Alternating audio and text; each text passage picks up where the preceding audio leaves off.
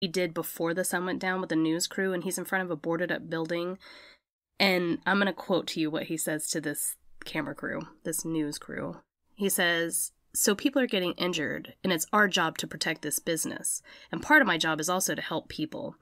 If there's somebody that's hurt, I'm running into harm's way. That's why I have a rifle, because I can protect myself, obviously, but I also have my med kit.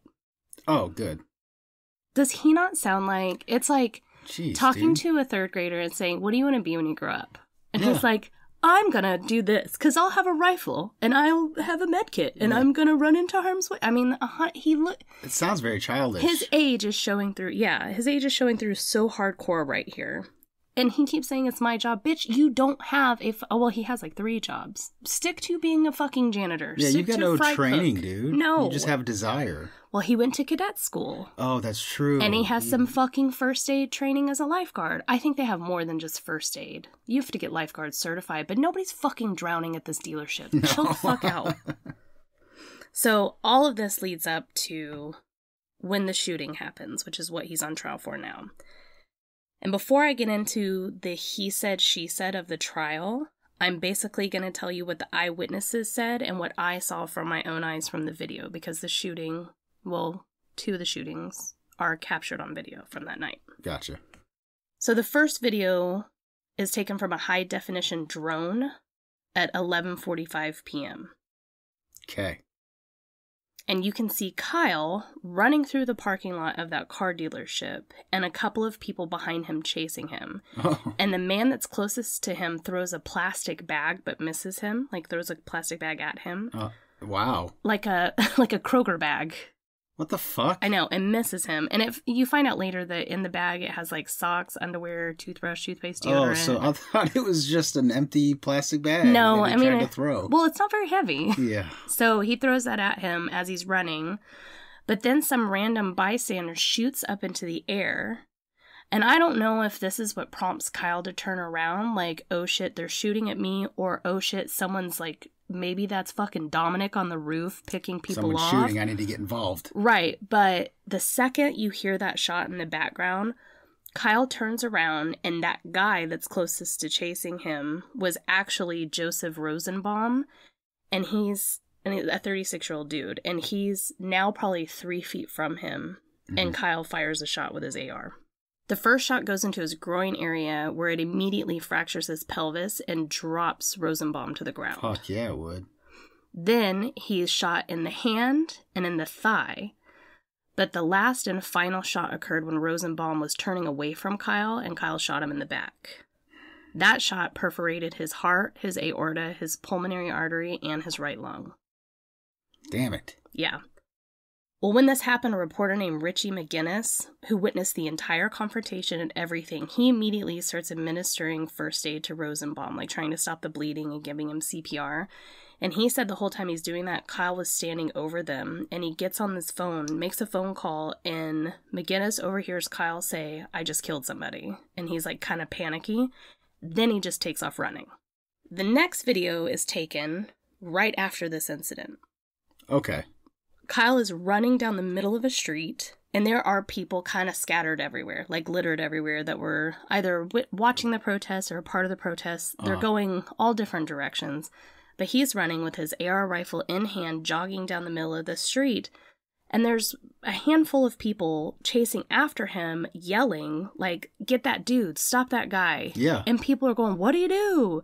And they're saying he shot somebody. So then more people kind of start chasing. Yes, chasing after him. And this whole, what I'm about to explain, was caught not just by, there is a photographer there documenting the entire protest, but it was also caught by multiple cell phones from different angles.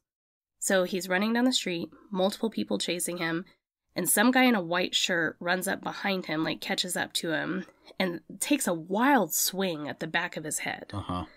I don't know if it lands because both of them are like mid stride running. Yeah.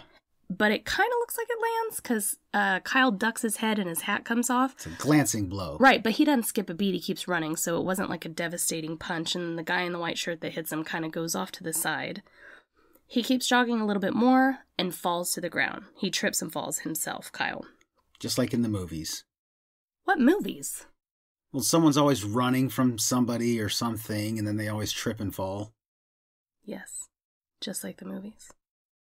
Well, immediately, the second he hits the ground, all these people that are running have caught up to him. They swarm him. Well, yes and no. They're kind of all running up at the same time, and one guy runs up and basically goes to like kick him hardcore. Uh huh. And he does kick him, but at the exact same time, Kyle is he's sitting on the ground, he's sitting up now, he's not laying down. He gets his hands on his rifle and shoots a shot the second that guy lands that kick. So the guy runs off. He's not shot. Nobody's Oh, okay. hit nobody's hit by this oh, round. Oh. The guy that kicks him runs off. He shoots again. Nobody's hit by it. Then another man named Anthony Hu- Huber, H U B E R, Huber, Huber, Hubber. Huber. I'm gonna go with Huber. Anthony Huber runs up, and this is seconds after he let off those two rounds and Ah. being kicked in the head, and has a skateboard. Oh shit. He hits him in the shoulder with the skateboard and then immediately tries to grab the gun. Right as he grabs the gun, Kyle fires again and hits Anthony Huber in the chest. Mm. That shot perforated Hubbard's heart, right lung, and killed him almost instantly. Damn. Then a 26 year old man named Gage Grosskreutz runs up to Kyle, basically the same time as Anthony Huber. Mm-hmm. Huber is throwing me. it's probably not Hubber. It's probably not Huber. You know what would have been nice is if I actually fucking listened to somebody else say it, and then I would know how to Yeah. say it. So I apologize. Mm-hmm. Okay, so this guy named Gage runs up just as Anthony is getting shot, like at the almost exact same moment. And when he sees Anthony get shot, he puts his hands up for a second, Yeah. but then he sees Kyle have his hand his rifle then turned at him. Yeah. huh. So he goes to reach for a gun that he has Oh shit. and gets shot by Kyle. Damn. Well, this thankfully did not kill him, but it blew off his right bicep. Ooh. Like 90% of his right bicep was taken off by this shot. He drops to the ground, and then all of a sudden, Kyle gets up very nonchalantly and just turns around and starts walking away from the scene. Hey, Everyone- guys. Everyone else that was chasing him is now backed off because he's shooting people. Mhm. As soon as he starts to walk away, people are running up to the injured, trying to administer first aid, and he starts walking calmly down the street. He gets a little bit away and starts jogging and sees police lights at the end of the street coming towards him. Uh huh. So he puts both hands up in the air, walking in the middle of the street, and they're not police cars, they're almost like SWAT vans. You know what I'm talking about? Like they're armored vehicles of some sort. Yes, there's like three of them. They're coming down the street and he's putting his arms up, and everyone is screaming in the background. Like he did it, he shot him, but those people, they're just honking at him to get out of the fucking way. Right. I remember that. And they go right around him. After that, he ends up going home where he tells his mom everything that happened, and she says, You basically have two choices turn yourself in or leave town.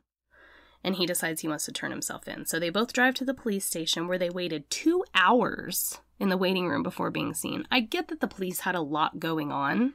But you've got a killer right here. Yes, two hours where it's reported that Kyle spent that time vomiting and crying in the waiting room. And that does soften my heart a little bit because he's only fucking 17. Yeah. And now the gravity of the situation is hitting him. His adrenaline is gone. yep. Yeah, he knows that he just fucking killed people. And I it's hard, I don't know. This whole case is so it's it's such a gray area for me because I do see him as a little lost boy Yeah. but he also fucking went there armed and shot people. But then, just as I'm starting to feel sorry for him, it's reported that the police finally come to him and they say, Hey, this is all quoted. Hey, I gotta read this form to you. And he responds, Is it Miranda? I know how Miranda works. Oh, cool guy. And then he says, I want a lawyer. But then continued to talk before his lawyer got there. So do you? Do you know how Miranda Miranda Works. rights work? He's an idiot. Yeah. He's 17. Of course he's an idiot. I've yet to meet a 17 year old that's not a fucking idiot. Yeah. So as he's being interviewed by police, Wendy, his mom, starts Uh-huh. to get death threats on her phone. Like, your kid's a fucking white supremacist. We know where you fucking live because all those all the cell phone footage has now gone viral and mm-hmm. people in the comments are pointing out i know that kid. This is his name blah blah blah. And she's like holy shit. Like this is bad. We cannot go home. Regardless of what happens in this police station we cannot go home.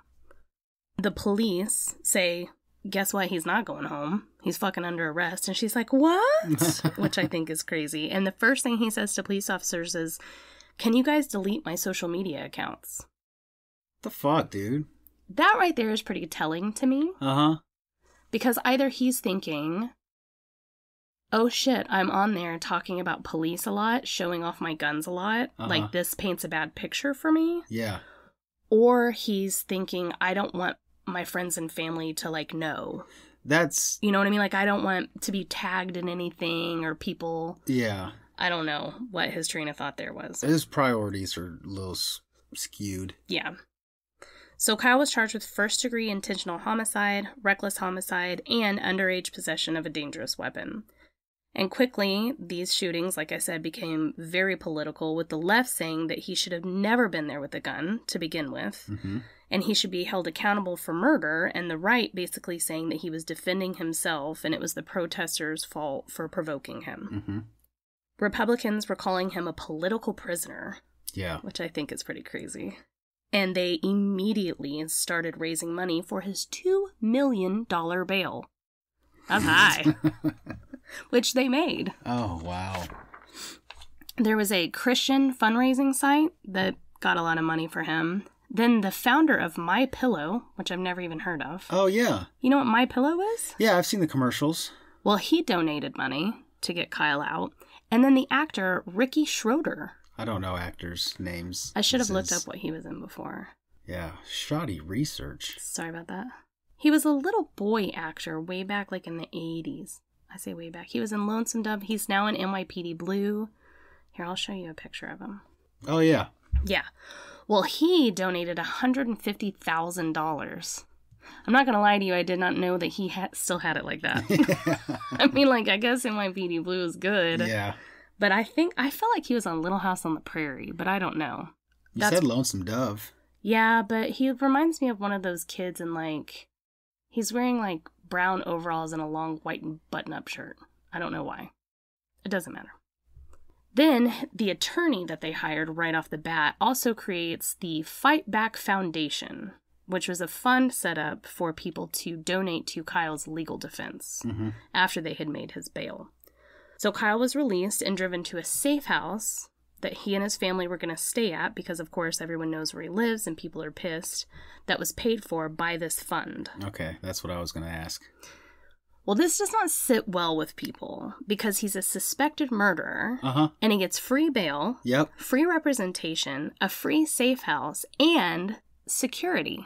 Yeah, that's fucked up. Not only that, but this fucking safe house was furnished. They all had brand new name brand clothing because they didn't have time to get shit from their house, Oh. including Lululemon. oh. That's fucking expensive and a terrible company. Go back and listen to that episode if you haven't listened to it. Yeah. Terrible company. And it was Wendy and all three kids. Like, Oh, y- oh, jeez, just bring them all. That's what I'm saying. Like everybody was staying at this furnished house. They had gaming systems there, and all four of them got a brand new laptop because they wanted the kids, including Faith, the oldest sister, Mm-hmm. to enroll in high school because she dropped out as well, and she's 20. But they wanted all of them to go back and finish high school, maybe to look good or I don't know why. But they all got brand new computers to do that. Well, that, again, people don't fucking like that Uh uh because not a lot of suspected murderers get this kind of bullshit. Not only that, but when they made it to the safe house, fucking Ricky Schroder was there for a goddamn photo op. Jeez. Right? That's fucking weird. Bad taste. And not only that, but the security guard that transferred Kyle from the uh, police department whenever he got bailed out Uh huh. to the safe house had stopped and bought him clothes.